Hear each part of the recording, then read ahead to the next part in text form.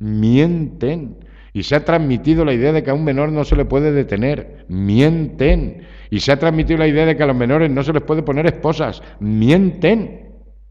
Nosotros podemos detener a un menor y puede estar detenido un menor en dependencias policiales 24 horas por la policía, más 24 horas por el fiscal, más 24 horas por el juez. Y el juez incluso puede acordar una prórroga de 48 horas más para ver qué hace con ese menor. Y si hay que poner esposas, se ponen esposas.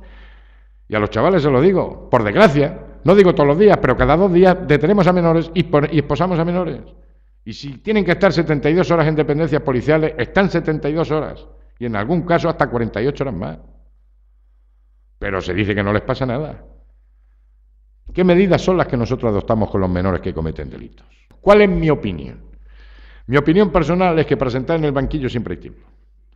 Y que yo antes de sentar en el banquillo a un chaval de 12 y 13 años, antes exigiría más a los padres, exigiría más a la escuela y exigiría más a la sociedad.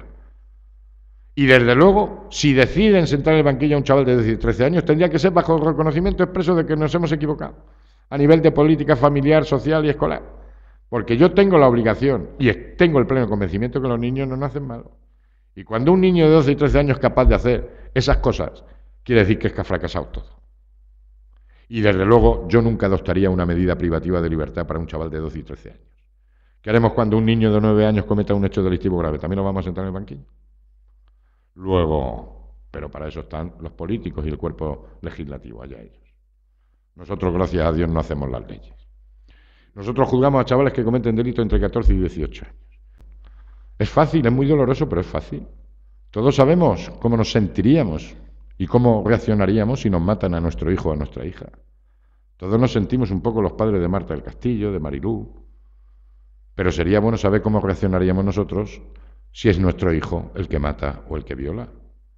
¿Cómo nos sentiríamos nosotros si llega por la noche la, la policía a nuestra casa y detiene a nuestro hijo o a nuestra hija acusado de un homicidio, un asesinato, una violación? Nosotros podemos ser los padres del niño autor, no solamente los padres de la víctima, podemos ser los padres del niño autor. Imaginaros el caso que tuvimos en Granada hace cuatro o cinco años de ese chaval de 15 años que le pegó dos tiros a su madre. Ese padre que por la mañana estaba encerrando a su hijo y por la tarde estaba enterrando a su mujer.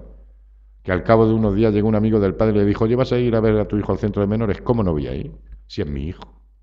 ¿Cómo queremos que la sociedad trate a nuestro hijo que no hemos sabido, no hemos querido, no hemos podido educarlo? Podemos ser los padres del niño autor.